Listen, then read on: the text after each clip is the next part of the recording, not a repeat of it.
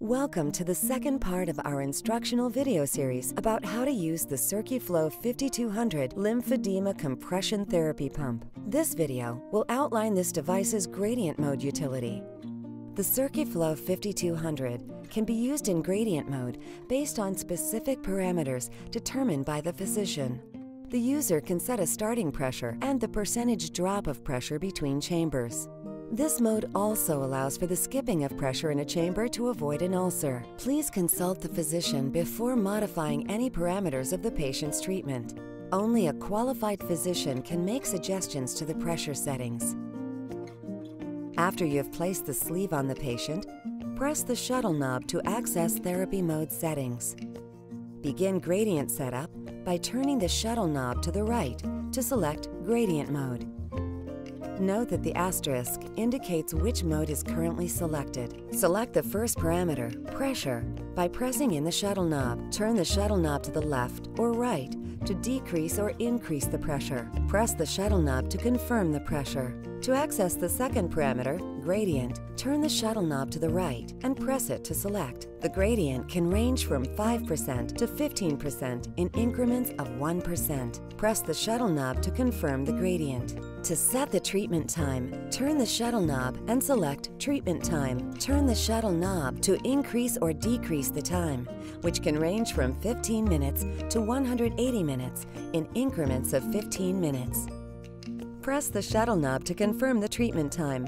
To set the cycle time, turn the shuttle knob to cycle time and select the parameter. Turn the shuttle knob to select the correct amount of time. Press the shuttle knob to confirm the cycle time. To skip pressure in a chamber, turn the shuttle knob to the right until you reach Skip Chamber and press the shuttle knob to select. Select the chamber you wish to skip by turning the shuttle knob to the left or right. You can select chambers 1 through 4 or a fifth option. No skip. You can only skip one chamber during treatment. Note that when a chamber is selected to be skipped, a small amount of air may still enter. This is normal. Press the shuttle knob to confirm the skipped chamber. To complete the setup, turn the shuttle knob to the right and select Exit. Once in therapy mode settings, turn the shuttle knob to the right until you see Exit and press to select. You will be taken to the Ready Press Start display. Push the green Start button to begin your custom treatment. The pump will then go through its initial pre-fill stage of reaching 10 millimeters mercury in all four chambers. Larger sleeves could take longer to complete this step. Each treatment will end after its set treatment time has elapsed. The user can also end the treatment at any time during a treatment session by pressing the stop button on the front panel. After treatment, the device will vacuum air from the sleeve for one minute. The vacuum cycle can go through another one minute cycle by pressing stop.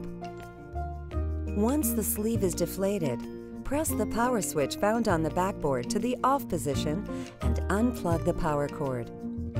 Once the power indicator light is off, it is safe to remove the sleeve. Thank you for watching. We encourage you to watch the other two videos in this instructional series, which detail different pressure settings that can be used for the CircuFlow 5200 device. For more information or with specific questions, please email info at devonmedicalproducts.com.